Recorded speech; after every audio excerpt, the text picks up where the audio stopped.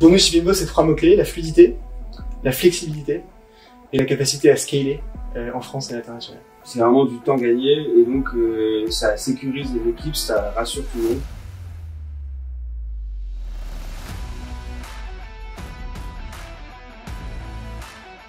SoSmart, euh, ça a été créé en 2017 avec la création donc, du site calicosi.com. Aujourd'hui, SoSmart est un groupe maintenant e-commerce avec plusieurs sites. Donc euh, on a calicosi.com qui est dédié sur le rangement et l'optimisation de l'espace. On a un deuxième site qui s'appelle couleurSenior.com qui est dédié à tout ce qui est euh, aide à la mobilité pour les seniors.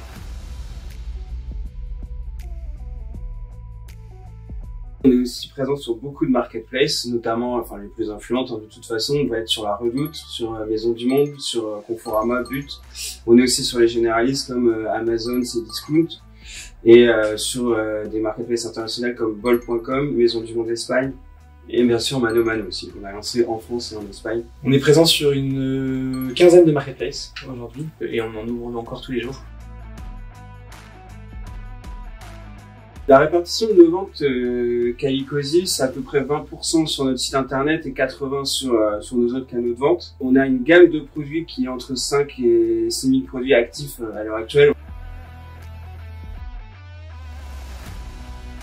Donc ce qu'on faisait, c'est qu'on sortait les bons de livraison directement via notre interface euh, PrestaShop.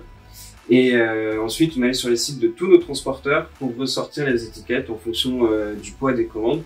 Donc ça nous demandait beaucoup de temps et du tri tous les matins en préparation, puisque on a beaucoup de transporteurs, parce qu'on travaille avec euh, notamment Polissimo, DPD, GLS, euh, Mazé, Epner. Donc en- entre 2019 et aujourd'hui, on a multiplié le chiffre d'affaires par 10. Donc aujourd'hui, euh, on, a, on fait à peu près entre 7 et 8 000 commandes par mois. Euh, et on est encore en croissance, on- on prévoit encore de doubler le chiffre d'affaires cette année.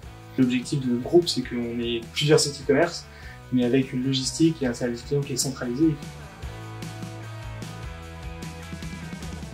On a des engagements de toute façon, euh, on a des engagements sur les délais d'expédition, où on, est- on fait de l'expédition 48 heures maximum.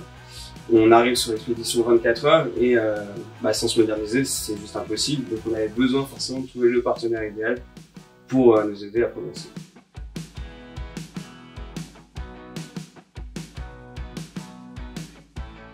Les deux piliers qui nous fait vraiment grossir euh, de 2019 à aujourd'hui, c'est notre nos produits et notre supply chain. Mais c'est vrai que la supply chain, Shippingbo a été un élément clé en 2020 quand on a lancé. On a lancé juste avant le Covid, au moment où on commençait à se développer.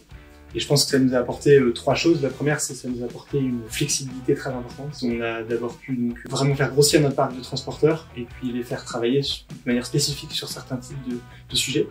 La deuxième chose, c'est que ça nous a permis de fluidifier très fortement en fait notre notre développement, puisqu'en fait, on a pu connecter tous nos partenaires à une solution, donc avoir une base centralisée avec une connexion qui était extrêmement rapide. Donc, comme on a lancé en février, que le Covid est arrivé fin mars, on a pu aussi très rapidement en fait être complètement opérationnel et pouvoir à la fois euh, gérer ses transporteurs, gérer les différentes places de marché.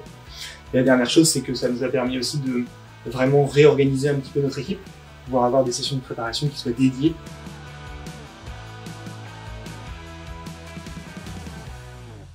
Shippingbo nous a permis en fait d'éviter tout retard d'expédition.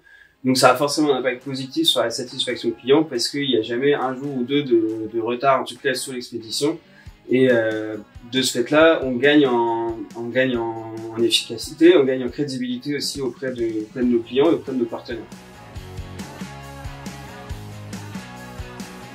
Moi, je pense qu'avec l'expérience, en tout cas, qu'on a eue, euh, chi- enfin, je recommande les pour cette capacité de pouvoir, en fait, euh, de manière extrêmement facile et sans avoir une équipe technique extrêmement lourde, avoir un système logistique rapide et au standard du marché. Donc, en fait, la capacité de pouvoir bah, euh, répondre aussi rapidement euh, à un client en termes de délai d'expédition que un redoute ou que un très gros site, je pense que c'est extrêmement important. Et donc, moi, le conseil, c'est que bah, je pense que en tant que petit site, il faut qu'on utilise des solutions expertes sur le marché et qui soient vraiment spécialistes pour pouvoir aussi nous développer, parce qu'on n'a pas cette capacité à le faire nous-mêmes.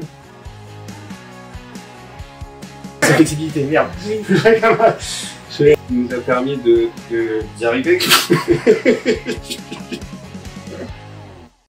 Tout le monde parle enfin efficacité, simplicité, satisfaction. Shipping, beau, un langage unique, des opportunités partout.